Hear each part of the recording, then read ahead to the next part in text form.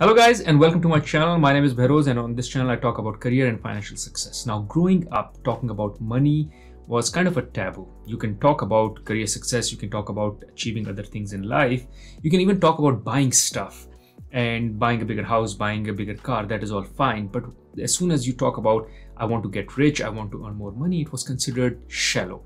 It wasn't considered cool, it wasn't considered nice, especially when you're talking in front of your family, friends, and social circle. It is only when I grew up I realized how important money is, especially because it can buy you your freedom, financial freedom, and that is what my goal is and that is what I teach on my channel. Now talking about financial freedom and talking about the fact that it was difficult for me or in those times to talk about money, in this video I want to talk about the myths related to getting rich and getting wealthy what are the myths that people usually hold? I will bust those myths and I will talk about those myths and I will explain why those myths are wrong. And despite having those myths around us for so long and people still calling them out, we can still get rich and we can still get wealthy and we can still achieve the financial freedom that we should all be working towards. Now, one call out before moving forward. In case you find any value from this video, I have two asks for you. One, smash the like button as this keeps you motivated. Second, press the subscribe button along with the bell icon so you get notified as soon as I put a new content out there. Both these actions will mean a lot for my venture, for the content that I'm producing. I will be able to make better and more improved content. Now let's get rolling back into the video. Now I have a list of those myths and I'll read out from here. One is overnight success is a myth. There is no such thing as an overnight success. Overnight success is 10 years in the making. The people you see wealthy, you see rich, you go like, okay, that guy just uh, hit a jackpot, got lucky overnight. No, that's not the case. They have been working on it for very long time. Now, it could be possible that they didn't have money from, let's say, year one to year nine, and suddenly in year 10 they started making a lot of money. That could be possible just because of compounding. However, whatever they were doing from year 0 to year 9 has compounded, has added up for them to be able to generate the amount of income they are generating in year 10. I'll give example of my YouTube channel. Now, first day, no views. Second day, no views. Third day, first month, second month, third month. It took me one year and eight months to monetize. And the amount of money that I earned in the first month from YouTubing was less than $100. However, it is starting to increase and it is compounding.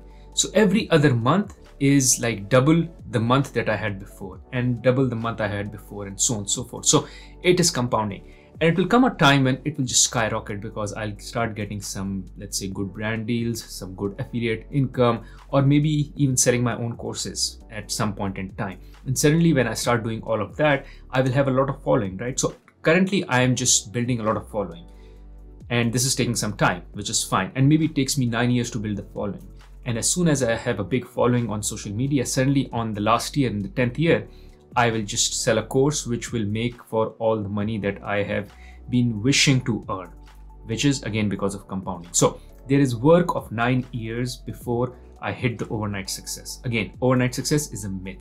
You have to work your ass for that money and hence don't just think that you will get lucky. Now talking about luck, another myth that people have is luck alone determines wealth? Well, yes and no. I agree that you have to be lucky, but for you to be lucky, you have to put yourself out there. You cannot just assume that you will sit on your couch, be watching Netflix, and you will just get lucky. For you to get lucky, for instance, talking about career change, for you to get a job, you have to put yourself out there, you have to apply for jobs, and only then you can get lucky and get your good break or big job or big uh, dollar or money title or job, whatever it is that you're looking for. But you cannot just sit on your couch and expect that someone will come and offer you a job. You have to go, you have to search for jobs, you have to apply, you have to go for interviews, you have to put yourself out there, you have to sell yourself before you get hired for that ideal job that you're looking for. Similarly, if you want to get lucky on social media with the putting content out there again you have to put your content out there you have to produce videos on youtube you have to put posts on social media and it would be over time that someone will watch your post will like it will appreciate it and then it may magnify it may become a snowball effect and can make you get lucky eventually but it will not happen till you don't start similarly how i got lucky with my channel was when i started making videos around getting hired acing an interview, getting into Procter & Gamble or other big companies. It was only then that my videos or my channel started to rock and really help me get lucky. Now, when people see that ch channel and they go like, um, fine, he got lucky because he worked for Procter & Gamble. He's making videos on Procter & Gamble. How lucky for his channel to work well. Well, before I started making videos on Procter & Gamble, it took me like 20, 30 videos, which I was making and trying to find my niche. I didn't know my niche what my niche was. It was only over a period of time after dabbling with a few videos, after dabbling with different contents, I was able to figure out what my niche was. So you will not be able to figure out what your niche is, what your target is, what is that you want till you start trying, till you start putting yourself out there, till you start taking action. So take action and only taking action will make you get lucky. Number three is high income guarantees wealth. It's a big myth I know a lot of people who earn far more than me, twice or thrice more than me. However, they have holes in their pockets. What I mean is their expenses are so high that whatever they earn, they're not able to save anything. Now, they may seem rich because they have the best of the cars, they have the best of the houses. However, for the most part, the people I know are in debt. So they're not wealthy, they're rich. Rich is all about showing your wealth. Wealth is all about having wealth which generates more wealth on top. However, these guys I'm talking about, they have high incomes, but they don't have wealth because their incomes are all diluted by high expenses. The expenses they are paying for the debt, they have to pay the mortgage, they have to pay for their cars, and for expensive and luxury lifestyle that they've maintained. So, what has happened is as their income was increasing, they were also inflating their lifestyle equally or even ahead of the income, hoping that eventually the income will catch up and will settle for the lifestyle. However, once you get used to stepping up your lifestyle every time, every year, you are just in that race, especially when you're trying to keep up with the Jones, with the comparison that you have with your other friends and family. And if you're doing all that, then you just keep spending. So it is that comparison game which forces you to continue to invest more in your expenses, in your lifestyle, and hence eventually you still end up not being wealthy. So it's not about the income, it's about your lifestyle. Can you maintain your lifestyle below your income? And can you be happy with that? If yes, you will end up rich. That like this is there is no other way. You have that extra money that you are saving you invest that money that money compounds and eventually will make you rich. It is not about the income. It is how much you can save and can you control and optimize your lifestyle or not now, the next myth is that inheritance is the only way to bring about financial success, which is that if my parents are rich, if my grandparents are rich, they will pass on their money to me, and only that is how I will get rich. Otherwise, there is no means for me getting rich. So, all the people I see around me are rich because they have inheritances, not because they have worked hard. Well, this is a myth as well. Now, let me share some facts. It was found that 74% of millennials believe that millionaires inherited their money and more than 52% of baby boomers think the same, which is people do think when they see a rich guy, oh, this person didn't work hard. It's just because they got a big inheritance. So most of the people do believe that, but it is wrong. Now let me share with you some facts. These are the studies done eh, on millionaires and these are true facts. Only 21% of millionaires received any inheritance at all. So all the millionaires that you see out of 100, only 21 received any inheritance at all just 16% inherited more than $100,000. Other than that, less than 16% only received less than $100,000, which is less compared to the millionaire status. And get this, the only 3% received an inheritance at or above 1 million. So it was only 3% who really became millionaire because of inheritance. Other than that, all of them either earned less than $100,000 or otherwise only 21% have received any inheritance, which means 79% of millionaires that you see around you did not inherit a single dollar.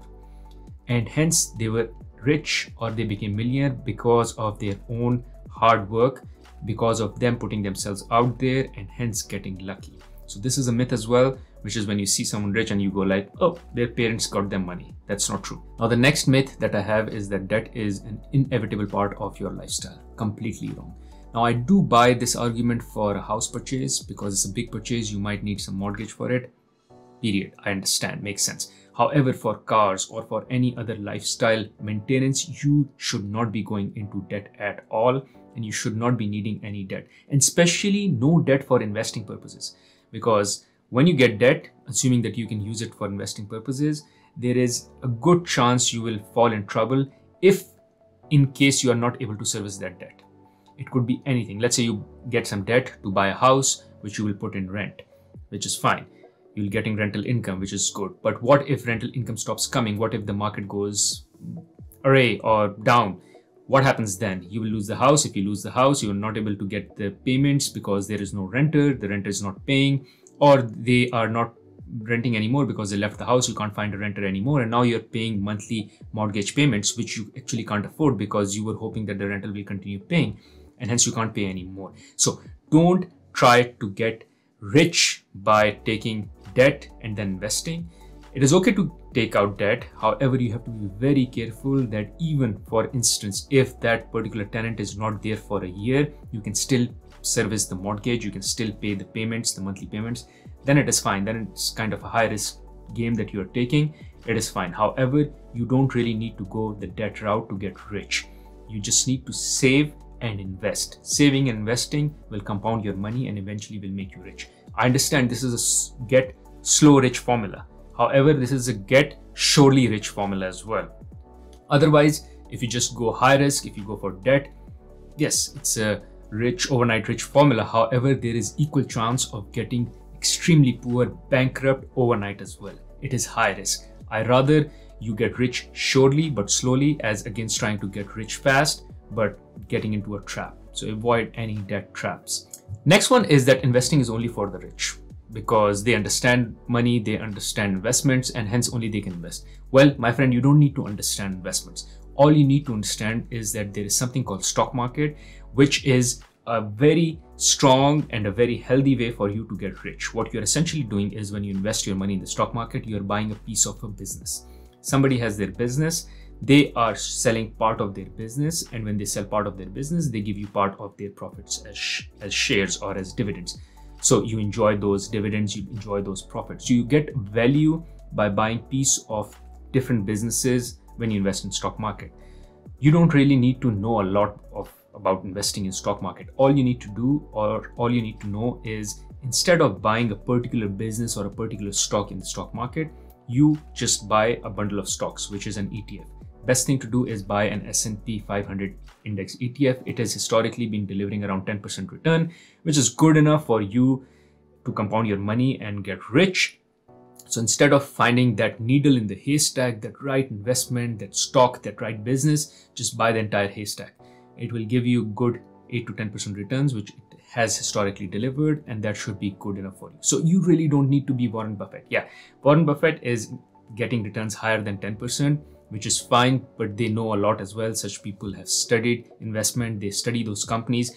Me, I don't have time to do that. I have a day job, I have family, I have hobbies, I have my passion as well. I don't have time to do that. So what I do is I just invest in an index. So you don't really need to know a lot about investing all you need to do is just open an account with the broker, invest in S&P 500, and that should be good enough. Now, the next myth that I have on my list is that only wealth attracts wealth, which is if you have money, only then you can get rich. If you don't have money to begin with, you cannot start a business, you cannot invest, you cannot get rich. Wrong. You can start a business without any money. This is me. I just had my phone when I started making my first video, and that's it. And that phone I didn't buy for making videos, by the way. I had that phone just because I have a phone, I carry a phone. And when I decided to start making videos, I just started using that phone and that was it.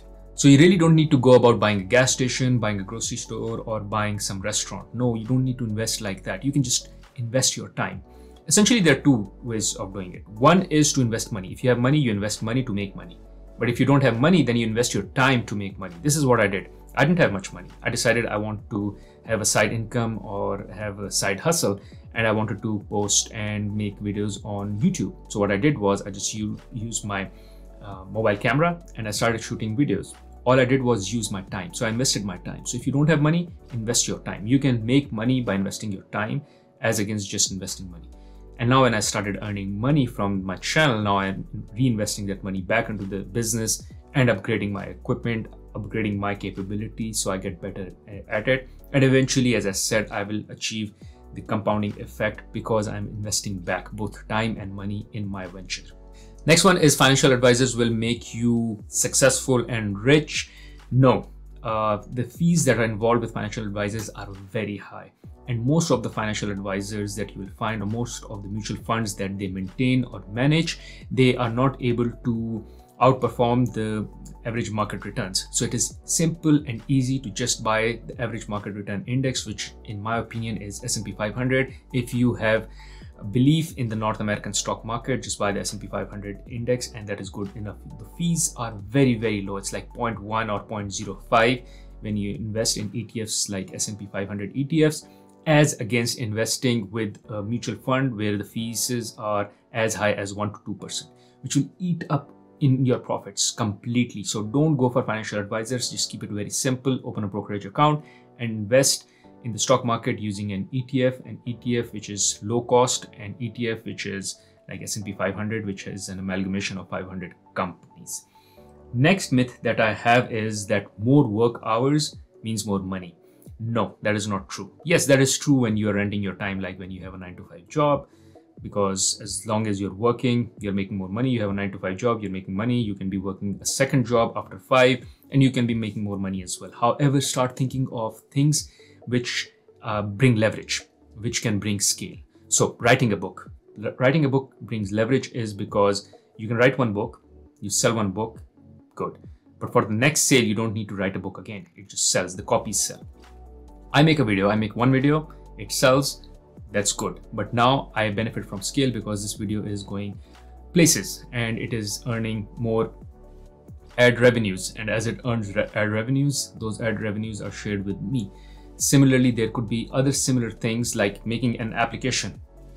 If you make an app, you make an app once, you invest in it, and then you just sell the same formula, the same algorithm again and again. You benefit from scale, you benefit from leverage. So you don't really need to work more hours. If you invest in the right thing, if you invest your time once in the right way, you can achieve leverage, you can achieve scale. So whenever you're thinking of business, think of business in this term as against trying to think of business in terms of buying some restaurant or buying some physical property. You can do so as well, but it is very difficult to scale that. It is much easier to scale a digital course. I can make a digital course on how to make money, how to get rich, how to invest. And once I make the course, I will make the course once and then I can just simply sell the course again and again and make money just out of leverage and out of scale. Last myth is success financially requires sacrificing, sacrificing on your happiness. That is completely wrong. I'm a big frugal guy. I'm majorly frugal. However, I am also able to live my rich life. What I do is I've made different buckets. There are certain buckets where I cut and I'm very brutal. I don't spend money a lot there. I'll give you an example. Like we are a family of four, two kids, two adults, but we just have one car. However, when we travel, when we go on vacations, we splurge so much so that there are times when we even go business class. We fly business class. I really enjoy the luxury. I enjoy the comfort. So I spend a lot on my vacations, but I cut brutally on, let's say, things like grocery, eat outs, and car. So I save money there and then I invest where it really matters it is not everything that I enjoy. I don't enjoy cars a lot. There are people who enjoy cars a lot, and maybe it makes sense for them to cut from their vacations and entertainment and invest everything in the car because that is what brings happiness to them. However, what I've done is I've realized what brings happiness to me. What brings happiness to me is spending time on vacations with my family, and I want to be as luxurious, as comfortable as possible. I don't enjoy cars, so I've cut money from cars and invest in my vacations. Thank you guys for watching this video. Hopefully, this video was helpful and kind of give you some ideas as to how you should go about thinking about money and with regards to getting rich. In case you found this video helpful, I'm sure you'll find another video very useful on my channel where I talk about my financial freedom journey. You can check it out here. Other than that, there is another video where I talk about how you can go about investing in the stock market. You can check out that video here. Thank you.